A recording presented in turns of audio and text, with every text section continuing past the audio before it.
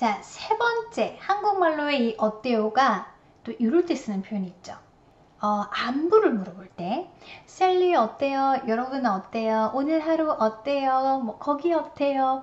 아니면은 어, 선호도를 물어보는 어때요가 있어요. 헉, 그래서 거기 어때? 살기 좋아? 이렇게 이럴 때 물어보고 어 강남 어떠셨어요? 이럴 때 이제 물어보는 표현이 있어요. 그래서 한국말로 도다 어때요지만 영어에서는 골라 써야 된다라는 거 감이 오시겠죠? 자 그럼 또 들어가 볼게요. 자, 한국말로 여행 어땠어? 잘 다녀왔어? 라는 거를 물어볼 때, 잘 다녀왔니? Go to the well. 이거는 아니라는 거 어, 벌써 감각적으로 아실 거고, 어, 여행 어땠어요? How about the trip? 이런 거 안 된다고요. 어떤 문제에 대한 해결책으로 물어보는 게 how about이라고요. 그래서 뭐 좋았는지 나빴는지 good, bad, great 이런 답이 나올 수 있는 것이 바로 How are you? 이 안부의 문장 구조예요. 그래서 How are you를 생각하시면서 거기에 껴맞춰서 쓰시면 되는 거예요. 그래서 여행 어땠니? 좋았니? 어, 뭐 어떤 상태였냐? 뭐 싫었냐? 이렇게 상태를 물어보는 거는 How is the trip? 이 되는데 이미 이제 갔다 왔으니까 시제를 과거로 낮춰주셔야 되겠죠. How was the trip? How was the trip? 이렇게 하시면 여행 어땠어요? 좋았어요? 이런 식으로 안부, 상태를 물어보는 형태가 되죠. 자, 그럼 우리 이거 한번 해볼까요? 어, 오늘 학교 어땠니? 엄마가 이제 아이 집에 오면 오늘 하루 학교 하루 어땠어? 안부를 물어보는 거죠. 이미 학교 생활 끝나고 온 아이한테 물어보는 거니까 How was school? 하고 쓰시면 되고요. 이 school 앞에 your school, a school, the school 이렇게 생각하실 수 있는데 정말 학교라는 건물이 아니라 학 교 생활을 물어볼 때는 앞에 아무것도 쓰시면 안 돼요. 일부러 문법을 틀리게 써서 학교 생활을 얘기하는 거지 건물 아니다라는 걸 심어주셔야 되는 거죠. 그래서 how was school? How was school? 자 아니면 어제 회의 어땠어요? 뭐 잘 됐어요? 라고 물어보는 것도 How was the meeting yesterday? How was the meeting yesterday? 이 정도로 물어보시면 되겠고 어, 저녁 때 뭐 남편이 왔어요. 오늘 하루 어땠어요? 잘 지냈어요? 뭐라고 하시면 돼요? How was your day? My day는 괜찮은데 당신 day는 어땠어? How was your day? 어, 좋았어. A little bit stressful. 이런 식으로 대답할 수 있겠죠? 아니면은 뭐 어, 오늘 일은 어땠어요? 회사 일 물어볼 수 있겠죠? How was work? 하고 물어볼 때도 마찬가지예요. 정말로 직업이 아니라 거기서의 생활을 얘기하기 때문에 work도 앞에 아무것도 쓰시면 안 된다라는 거죠. 이거 두 개 좀 조심하셔야 되겠네요. 많이 쓰이는 거니까. How was work today? How was your day? How was the meeting yesterday?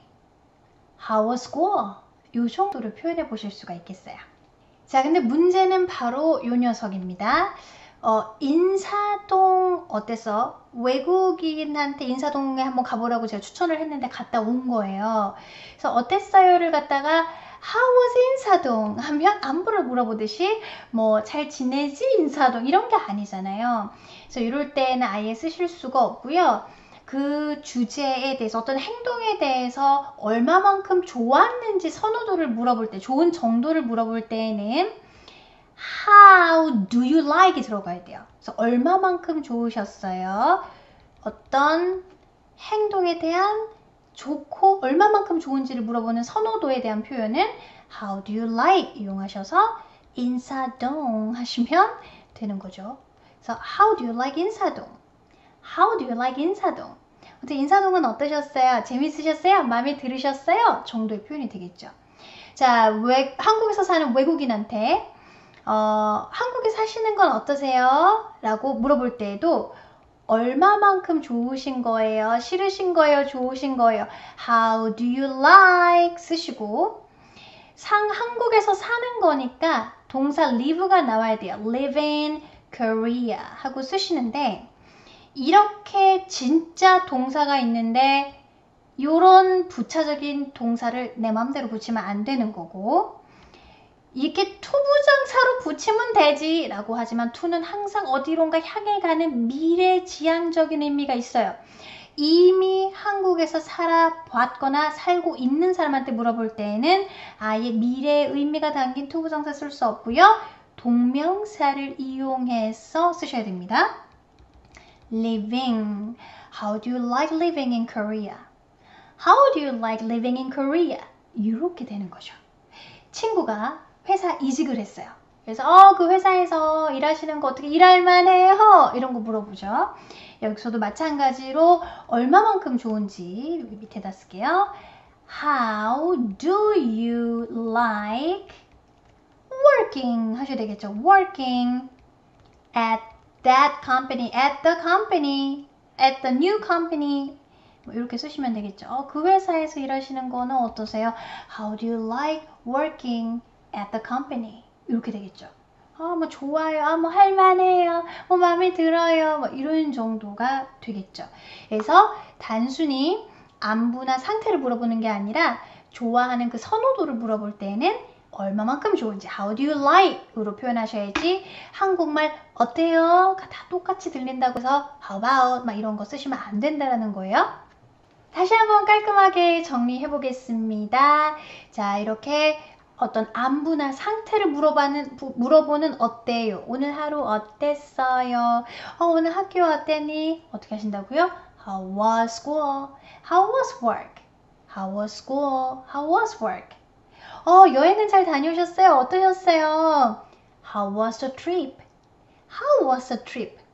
어제 그 회의는 잘 됐어? How was the meeting yesterday? How was the meeting yesterday? 그런데 어떤 상태나 안부를 물어보는 것이 아니라 좋아하는 선호도를 물어볼 때는 How do you like 이 돼서 아 거기 강남에서 사시는 거는 어때요? 살만해요? 당근 살만하지. 자 해볼까요? How do you like living in 강남? How do you like living in 강남? 아 거기 서울대 다니는 건 어때요? 당연히 좋지. How do you like studying at Seoul National University? 이 정도가 되겠죠. 그래서 이렇게 선호도를 물어보는 거, 상태나 안부를 물어보는 거, 뭐의 업계 상황에 맞게 쓰시면 되겠습니다. 자, 그동안 어때요? 3 시리즈 이렇게 만들어 봤는데요. 쭉 보시면서 그동안 어때요? 막 갖다 쓰셨다면 문맥에 맞는 발음 표현으로 골라 쓰셨으면 좋겠습니다. 수고하셨습니다. 바이.